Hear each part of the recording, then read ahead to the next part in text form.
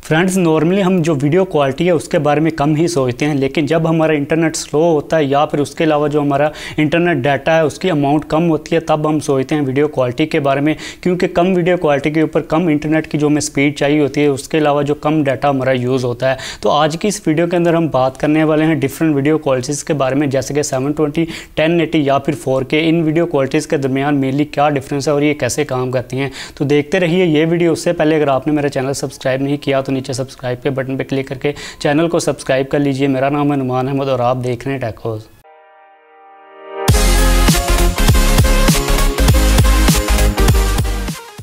Friends images और जो videos हैं, इनका जो बेसिक सिनेरियो वो सेम है, क्योंकि पिक्चर्स और उसके अलावा जो वीडियोस है, वो बेसिकली बनी होती हैं पिक्सल्स के साथ। क्योंकि एक पिक्चर जो बेसिकली बनी होती है पिक्सल के साथ और जो वीडियो होती है, वो बनी होती है पिक्चर्स के साथ। क्योंकि वीडियोज़ के अंदर होते हैं पिक्चर्स के फ्रेम्स तो इसलिए इनका जो बेसिक सिनेरियो वो सेम है। जितनी भी वीडियो क्वालिटीज़ हैं, जैसे कि सेवन ट्वेंटी या फिर फोर ये डिपेंड कर रही होती है नंबर ऑफ़ पिक्सल्स के साथ। यानी कि जितने ज़्यादा एक वीडियो के अंदर नंबर ऑफ़ पिक्सल्स होंगे, उतनी ज़्यादा उसकी हाई क्वालिटी होगी। सबसे पहले अगर हम बात करें सेवन वीडियो रिज़ल्ट के बारे में तो जो 720 वीडियो रिज़ल्ट के हॉरिजेंटली नंबर ऑफ़ पिक्सल्स होते हैं, वो होते हैं 1080 पिक्सल्स और जो वर्टिकल नंबर ऑफ़ पिक्सल्स होते हैं, वो होते हैं 720 और जो टोटल नंबर ऑफ़ पिक्सल्स होते हैं, एक 720 वीडियो रिज़ल्ट के अंदर, वो होते हैं वन मिलियंस तकरीबन. और अगर हम 1080 वीडियो क्वालिटी के रिज़ल्ट की बात करें तो उसके अंदर जो नंबर ऑफ़ पिक्सल हॉरिजेंटली होते हैं, वो होते हैं नाइनटीन ट्वेंटी और जो वर्टिकल नंबर ऑफ़ पिक्सल्स होते हैं, वो होते हैं टेन एटी और जो टोटल नंबर ऑफ़ पिक्सल्स होते हैं, एक टेन एटी पी रिज़ल्ट के अंदर, वो होते हैं तकरीबन टू मिलियंस यानी कि as compare to seven twenty one million ज़्यादा पिक्सल्स होते हैं, क्योंकि सेवन ट्वेंटी रिज़ल्ट के अंदर जो नंबर ऑफ़ टोटल पिक्सल होते हैं, एक वीडियो फ्रेम के अंदर वो होते हैं वन मिलियन इसीलिए जो टेन एटी पी रिज़ल्ट हम देखते हैं, वो काफ़ी ज़्यादा क्लियर और एक्यूरेट होता है as compare to seven twenty result क्योंकि नंबर ऑफ़ पिक्सल्स वो ज़्यादा होते हैं. फ्रेंड्स अगर हम बात करें फोर के वीडियो रिज़ल्ट की, जो कि रिसेंट एज के अंदर हमें बेस्ट वीडियो रिज़ल्ट देखने को मिलता है, उसके अंदर जो हॉरिजेंटल नंबर ऑफ़ पिक्सल्स होते हैं,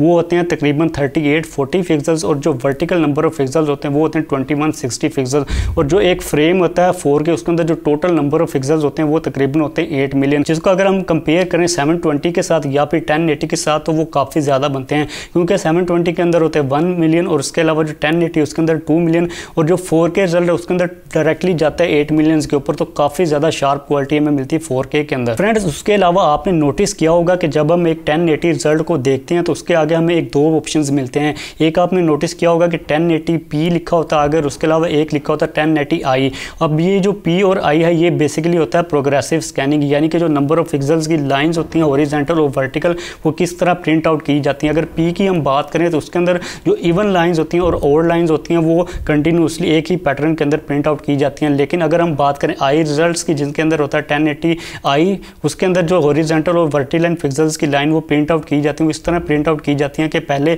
जो ओड नंबर ऑफ़ लाइन्स उनको प्रिंट किया जाता है, उसके अलावा जो बाद में इवन जो नंबर ऑफ़ लाइन्स उनको प्रिंट आउट किया जाता है। और जो हमें बेसिकली बेस्ट रिज़ल्ट मिलता है as compare to I series या फिर पी सीरीज़ वो हमें बेस्ट मिलता है पी के अंदर, क्योंकि उसके अंदर जो कंटिन्यूसली ग्रेजुअली जो नंबर ऑफ़ पिक्सल्स की लाइंस है, उनको अरेंज किया जाता है। लेकिन अगर हम बात करें आई सीरीज़ की तो उसके अंदर आपने नोटिस किया होगा, अगर आपने डीपली नोटिस करें इस बात को तो उसके अंदर हमें जो ब्लरीनेस का इफ़ेक्ट वो देखने को मिलता है। अगर हम एक डिस्प्ले के ऊपर टेन पी और टेन आई को गौर से देखें तो जो हम ज़्यादा क्लोज जाके उस डिस्प्ले को देखें, यानी कि उसके पास बैठ के देखें तो हमें जो आई सीरीज़ होती है, उसके अंदर ब्लरीनेस का इफ़ेक्ट मिलता है। यानी कि जो ज़्यादा क्लोज रिज़ल्ट होता है, वो इतना ज़्यादा ठीक नहीं होता। फ्रेंड्स जो टेन पी रिज़ल्ट है, वो भी काफ़ी ज़्यादा अच्छा रिज़ल्ट है, लेकिन अगर हम उसको कंपेयर करें 4K रिज़ल्ट के साथ तो 4K की जो स्पेसिफिकेशन है, वो काफ़ी ज़्यादा हाई हैं। 4K के अंदर जो हमें बेनिफिट्स मिलते हैं, वो ये है कि उसकी जो अप स्केलिंग और डाउन स्केलिंग हम वीडियो को करते हैं, यानी कि वीडियो को हम क्रॉप करते हैं तो उसकी जो क्वालिटी हमें काफ़ी ज़्यादा अच्छी मिलती है। लेकिन अगर हम टेन को क्रॉप करके लेके जाएँ सेवन के ऊपर तो उसका जो रिज़ल्ट है, वो काफ़ी ज़्यादा ख़राब हो जाता है। लेकिन अगर हम फोर की बात करें,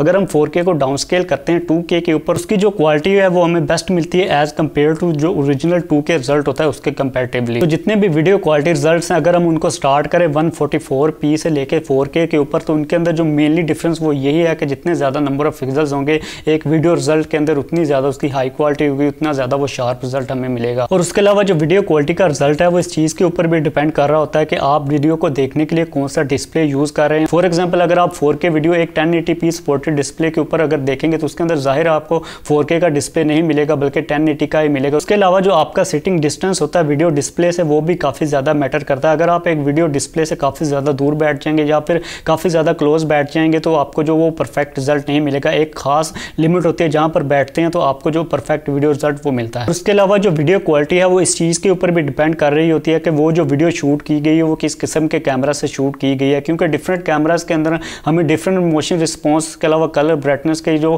कंट्रास्ट हैं, वो देखने को मिलते हैं। इसीलिए जो एक फोर रिज़ल्ट आप शूट किया है किसी अच्छे कैमरे से उसका रिज़ल्ट आपको डिफरेंट मिलेगा। इसके अलावा अगर आप एक फोर के मोबाइल से शूट करें तो उसका रिज़ल्ट वो आपको डिफरेंट मिलेगा। इसीलिए काफ़ी चीज़ें मैटर करती हैं एक वीडियो क्वालिटी के अंदर। फ्रेंड्स आज के लिए इतना ही। उम्मीद आपको वीडियो अच्छी लगी होगी और आपको ये समय लगी होगी कि बेसिकली जो वीडियो क्वालिटी रिज़ल्ट होते हैं, इनके दरमियान क्या डिफरेंस है। तो आज के लिए इतना ही। तो इस वीडियो को लाइक और शेयर कर दीजिए। उससे पहले अगर आपने मेरा चैनल सब्सक्राइब नहीं किया तो नीचे सब्सक्राइब पे बटन पर क्लिक करके चैनल को सब्सक्राइब कर लीजिए।